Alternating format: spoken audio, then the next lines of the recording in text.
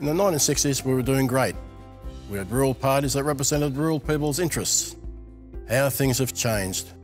In the 1960s, we had zonal taxation. Rural people paid less tax. Engineers, doctors, and others left the cities to support our communities. They had the incentive to do so. I lead the United Australia Party in the Senate. The United Australia Party wants 20% less tax for all Australians living more than 200 kilometres from a state capital. Housing is so expensive in the city. Our young people in rural communities need a chance to succeed. 85% of Australia's wealth is created outside the cities. Let's create more wealth for all Australians. United Australia Party, unite all of Australia. Make Australia great. Put Australia first.